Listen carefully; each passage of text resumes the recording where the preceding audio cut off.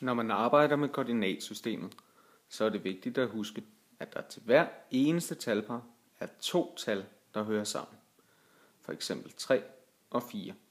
Man skriver det 3,4, men man siger faktisk bare 3, 4. Når man skal afsætte et talpar eller et koordinat, så skal man bruge to tallinjer.